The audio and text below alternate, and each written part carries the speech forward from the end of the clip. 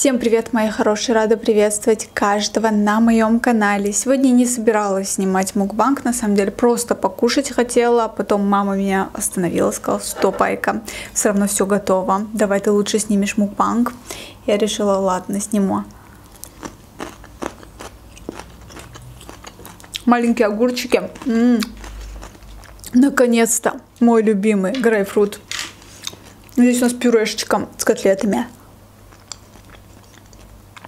помидорки черри. М.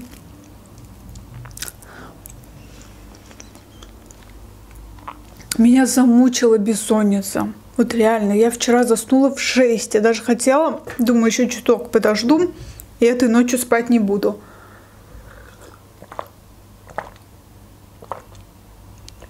А все почему? Зависимость от телефона. Залезла в ТикТок, вдруг вижу, час прошел, второй прошел. Убираю телефон в сторону. Думаю, все, сейчас попытаюсь заснуть. Что вы думаете? Получается, нет.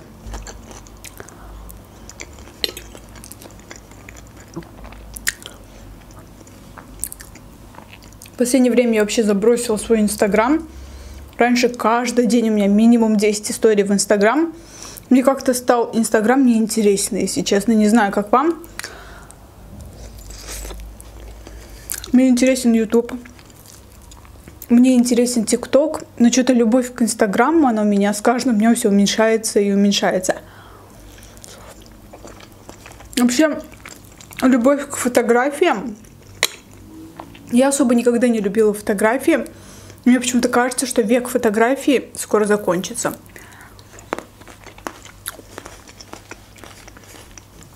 Фотографии так ретушируют, что прям не узнать человека.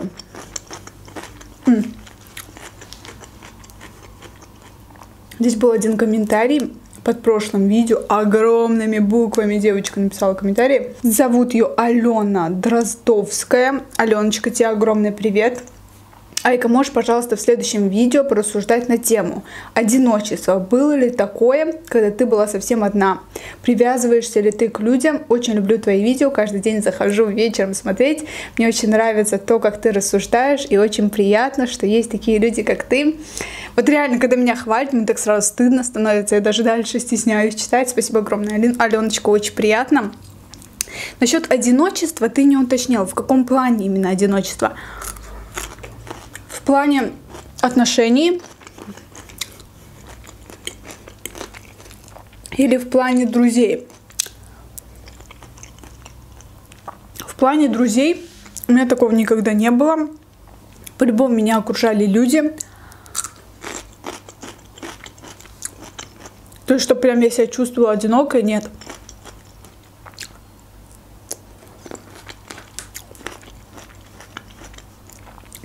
С такой аудиторией, тем более, я себя не чувствую одной. А вот в плане отношений, я училась в универе, у меня не было отношений, и мне хотелось. Но мне хотелось отношений с таким человеком, который идеально мне подходит, идеально подходит под мои критерии.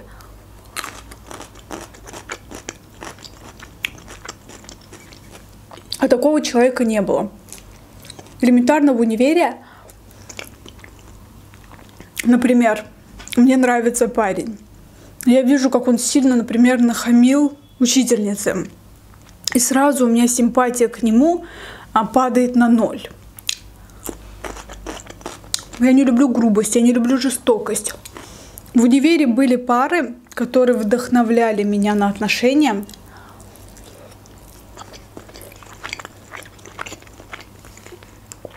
Я чувствовала себя одинокой только в плане отношений плане друзей никогда.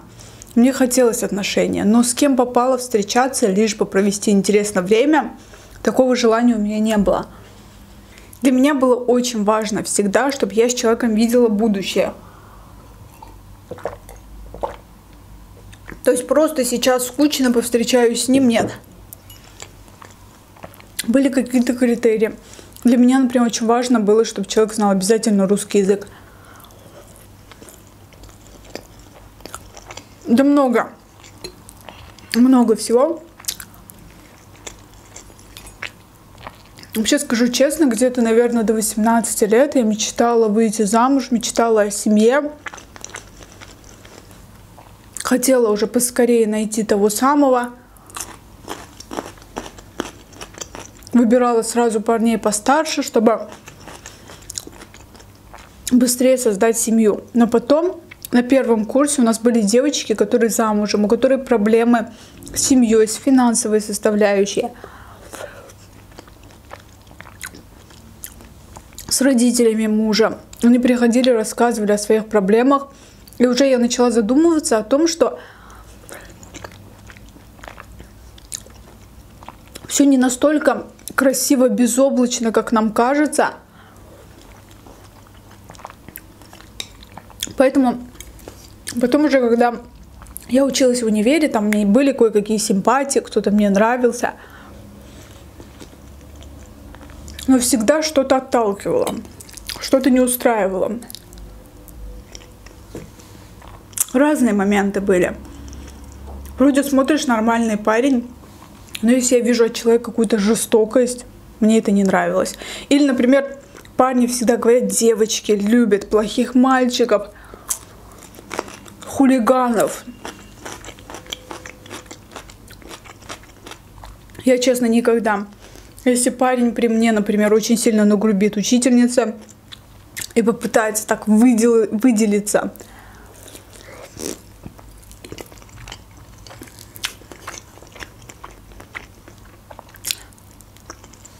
я сразу думаю, человек не уважает старших. Мне ты не подходишь. То есть у меня не было такой, знаете, черной зависти. Я смотрела на пары в универе, которые счастливы, у которых все хорошо. И думала, блин, а когда же я найду свое счастье? И вот нашла. Хотя я все мечтала об отношениях, чтобы, например, мы в универе вместе учились, или, например, в школе вместе учились, потом в универе, потом работали вместе, а потом поженились, например, да. Я знала одну пару. В общем, они познакомились, точнее, они начали встречаться, когда были в 10 классе. Потом закончили школу, учились в разных универах. Потом закончили магистратуру. Причем разные магистратуры, разные учебные заведения. И потом поженились. Они настолько понимали друг друга, на них смотришь, было такое ощущение, что это брат и сестра. То есть они даже внешне были похожи друг на дружку. Я смотрела на такие пары и думала, вау.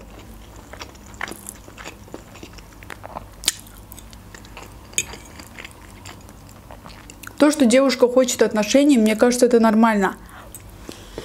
Наоборот, когда человек ничего не хочет, это должно настораживать.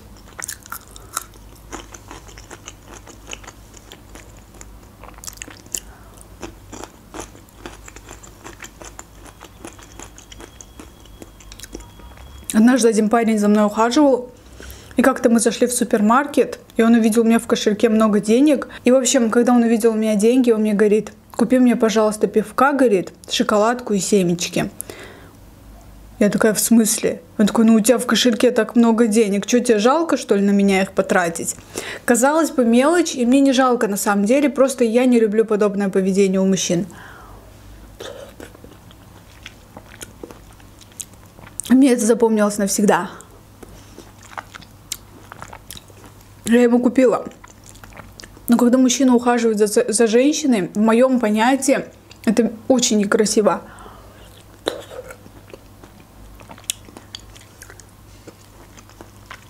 Я могу купить. Еще и шоколадку могу купить. И Рафаэлла, все, что хочешь. Но когда ты только-только начинаешь общаться с девушкой, ну это очень некрасиво.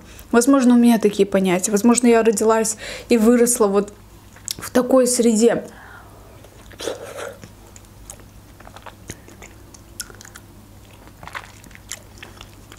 Возможно, этот парень учился в Европе, и для него это нормально. А есть и такие девушки. В универе у нас была девушка, она все нам говорила, вы дура. Я как только знакомлюсь с парнем, первое, что я делаю, когда мы едем обратно домой, говорю, мне надо заглянуть в магазин, захожу, покупаю продукты, все, что мне нужно, и смотрю, заплатит ли за меня мой парень.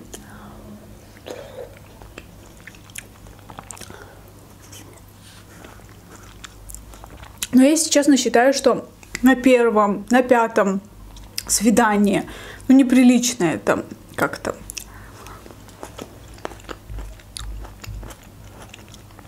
Много разных всяких моментов было. Можно сказать, одни из моих серьезных отношений это отношения, в которых я, как мы познакомились, познакомились на дне рождения. Потом он предложил отвезти домой. Вот, и начали общаться. У моего парня в этом плане он просто идеальный. Он никогда рубль твой просто не возьмет.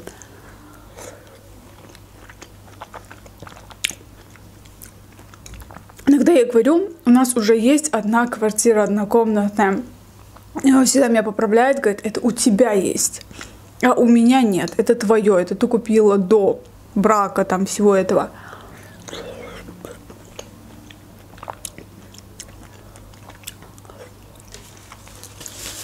Скажу честно, я не отношусь к тем девушкам, которые пытаются как-то развести мужчину на деньги, чтобы он дарил супер дорогие какие-то подарки. Не прошу никогда ничего, стараюсь казаться такой независимой, я все сама, баба-мужик и так далее. Возможно, это неправильно. Но мне стыдно.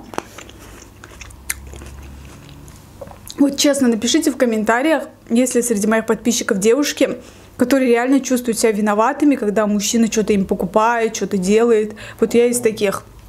Но я не могу сказать, что этим моим характером мой парень пользуется, например, да.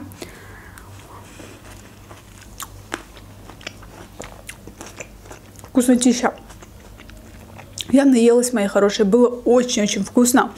Не обращайте внимания в последнее время на качество моих видео. На улице пасмурная погода. Просто не лучика солнца. Надо пить витамин D, по-другому никак. На этом все. Всех люблю. С вами была Айка. Не забывайте подписываться, кстати, на мой канал. Всех люблю.